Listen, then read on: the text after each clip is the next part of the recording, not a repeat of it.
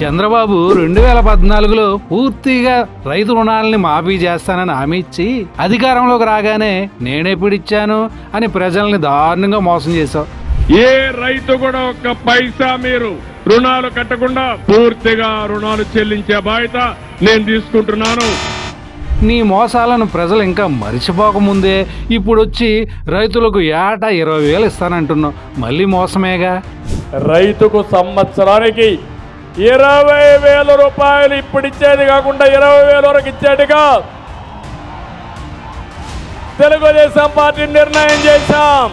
రెండు వేల పద్నాలుగు కూటమి మేనిఫెస్టోలో చదువుకున్న ప్రతి ఒక్కరికి ఉద్యోగం కల్పించకపోగా నిరుద్యోగ భృతి నెలకు రెండు వేలు ఇస్తానన్నావు ఉద్యోగాలు వచ్చే వరకు అండగా ఉంటా.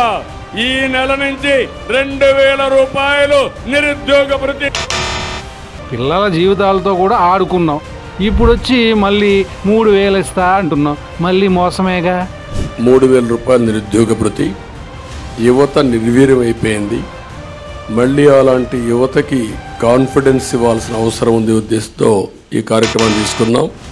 రెండు వేల పద్నాలుగులో పూర్తిగా డ్వాక్రా రుణాలు మాఫీ చేస్తానని హామీ ఇచ్చి అధికారంలోకి రాగానే సిగ్గు లేకుండా డ్వాక్రా రుణాలను మాఫీ చేయలేదని అసెంబ్లీ సాక్షిగా ఒప్పుకున్నాం. రెండు వేల పద్నాలుగు నుండి రెండు వేల పద్దెనిమిది మధ్య ఆర్థిక సంవత్సరంలో రాష్ట్ర ప్రభుత్వం ఎటువంటి డ్వాక్రా రుణాలను మాఫీ చేయలేదు అధ్యక్ష. ఇప్పుడు వచ్చి మహిళలకి నెలకి పదిహేను వందలు అంటున్నాం మళ్ళీ మోసమేగా? ప్రతి ఒక్క మహిళకి పదహైదు రూపాయలు ఇవ్వడం. చంద్రబాబు నీ మోసాలను మర్చిపోలేము నిన్ను ఎప్పటికీ క్షమించలేము. తెలిసిందా?